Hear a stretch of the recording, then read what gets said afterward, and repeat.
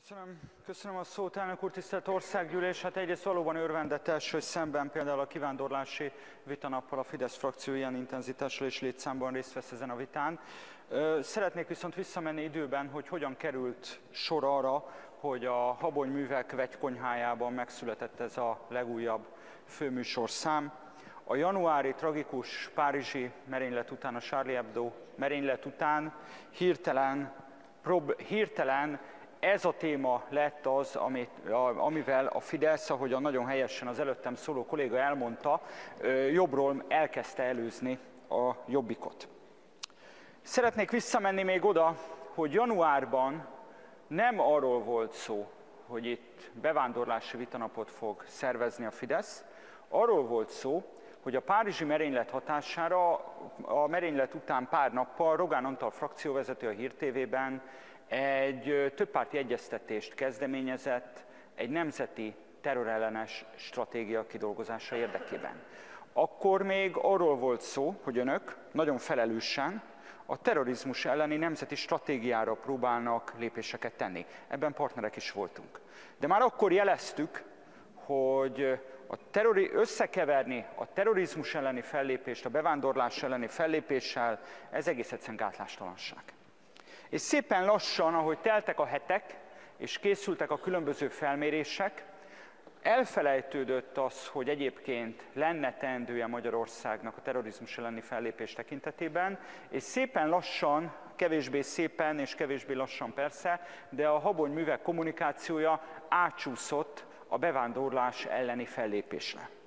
Szó nincsen már arról, hogy bármiféle többpárti egyetértést akarnának egy nemzeti terrorizmus elleni stratégia mögé tenni.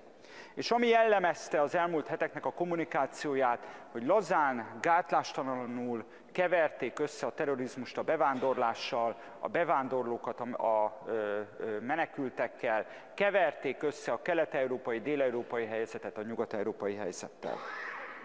Nagyon érdekes viszont az, hogy bár bár a statisztikai adatokat mi is ismerjük, ezzel együtt én azért várnám, én azért várnám Balla frakcióigazgató úr a magyarázatot arra, hogy hogy történhet az, hogy a probléma nem létezett a Charlie Hebdo merénylet előtt, nem beszéltek önök itt egyáltalán a bevándorlók áradatáról. Kósa Lajos nem képezte ki magát menekültügyi szakemberé január 11-ét megelőzően, majd megtörtént a Charlie Hebdo merénylet, és utána hirtelen ez csúszott föl a Fidesz kommunikáció élére. Mi történt Magyarországon, mi történt január 11-ét követően? Tudnilik azok a riasztó számok, amiket itt elmondtak, azok léteztek már január 11-ét megelőzően is. Ez semmi másra nem bizonyíték, mint hogy egyszerű, profán szavazatszerző szándék és gátlástalanság vezeti önöket. Mondom még egyszer, nagyon helyesen itt elmondta a kolléga, egyszerűen arról volt szó, megnézték az adatokat, be kell előzni jobbról a jobbikot, erről szól az egész történet. Tisztelt képviselőház, azzal együtt, hogy önök nagyon lazán váltottak a terrorizmus elleni fellépésről, a bevándorlás elleni fellépésre. Én azt gondolom, hogy felelős kormánynak és felelős országgyűlésnek viszont a másik kérdéssel is talán foglalkoznia kéne. Talán foglalkozni kéne például azzal, hogy nem túl messze Magyarország déli határától, Bosznia-Hercegovinában működnek már kiképző táborok foglalkozni kéne azzal, hogy nem messze a Magyarország déli határától Létezik már egy szélsőséges iszlamista mozgalmak regionális központja, és vannak információk arra, hogy a balkáni radikális vahabita csoportok Bécs mellett Budapesten is egy régiós központot létre akarnak hozni.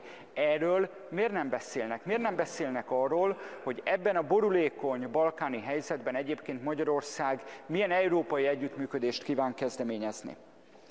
Tisztelt Országgyűlés, én azt gondolom, én azt gondolom, hogy talán célszerű lenne ebbe a vitába bizonyos fogalmakat, bizonyos fogalmakat helyre tenni.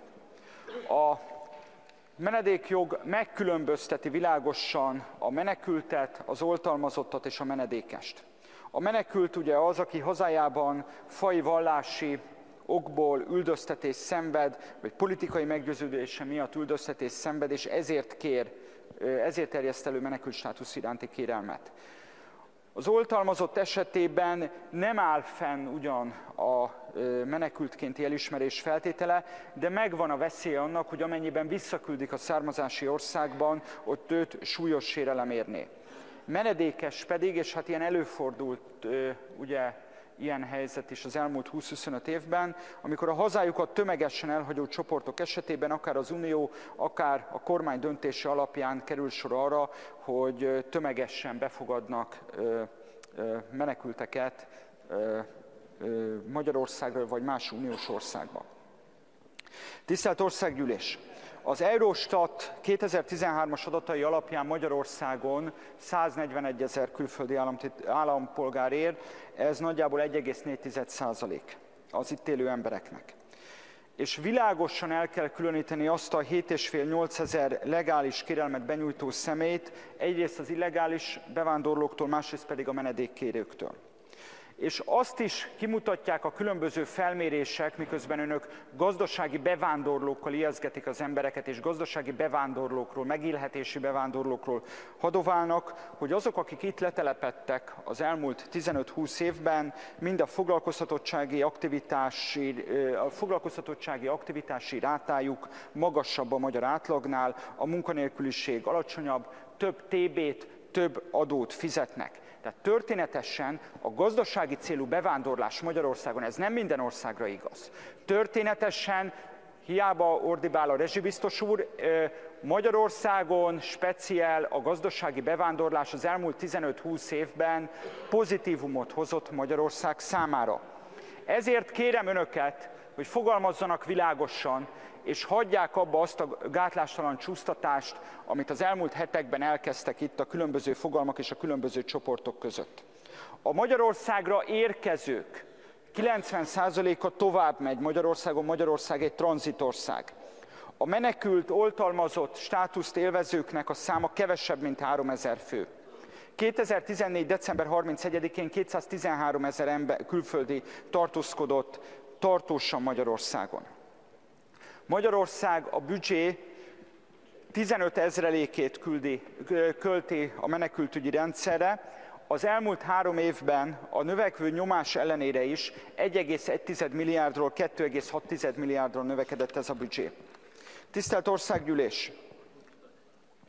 Tisztelt Országgyűlés, azt is különböző kriminológiai kutatások kimutatták, hogy az idegenek szemben azzal, amit Z. Kárpát képviselő úr itt az előbb sejtetni engedett, az idegenek, a bevándorlók inkább sértetjei a bűnelkövetésnek, mint elkövetői. 1991-92-ben Magyarországon volt egy nagy menekült, menekült nyomás, a délszláv háború miatt. Az egyik évben 50 ezeren, a következő évben 19 ezeren folyamodtak menedékért Magyarországon. Az akkor nem EU tag Magyarország képes volt kezelni ezt a problémát. Az Európai Unióban az Európai Unió 2014-ben 456 millió forintot adott menekültügyi feladatokra Magyarországnak, 385 milliót a migránsok visszairányítására, és 4,3 milliárdot a határőrizetre. A magyar gyakorlatról megállapíthatjuk továbbá, hogy nem befogadó jellegű, Például azért, mert hiányoznak azok a szociális oktatási kapacitások, amik egyébként segítenék a menekülteknek a szociális integrációját.